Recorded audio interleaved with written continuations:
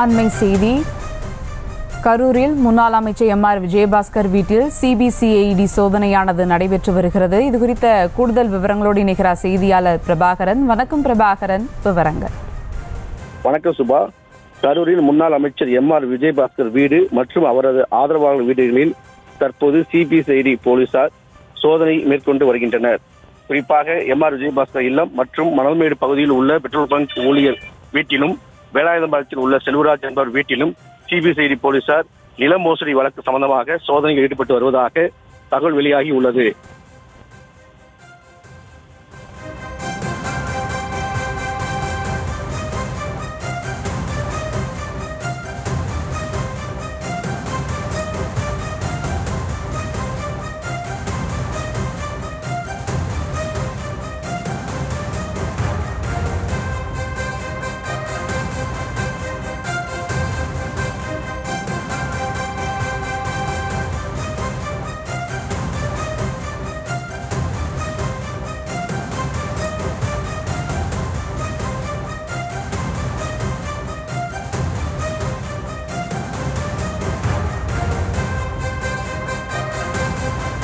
கரூரில் முன்னாள் அமைச்சர் எம் ஆர் விஜயபாஸ்கர் வீடு மற்றும் அவரது ஆதரவாளர் வீடுகளில் சிபிசிடி போலீசார் சோதனை மேற்கொண்டு வருகின்றனர்.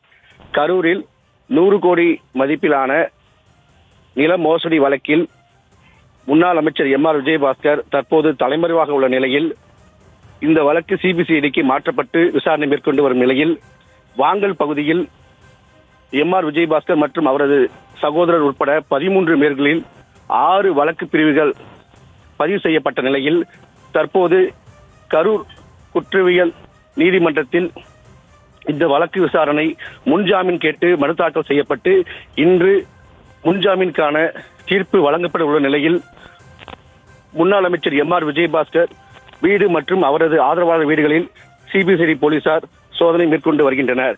குறிப்பாக மணல்மேடு பகுதியில் உள்ள பெட்ரோல் பங்க் ஊழியர் வீட்டிலும் வேளாண்பாளையத்தில் உள்ள செல்வராஜ் என்பவர் வீட்டிலும் சிபிசிடி போலீசார் நில மோசடி வழக்கு சம்பந்தமாக தற்போது சோதனை ஈடுபட்டு வருகிறது என்பது குறிப்பிடத்தக்கது.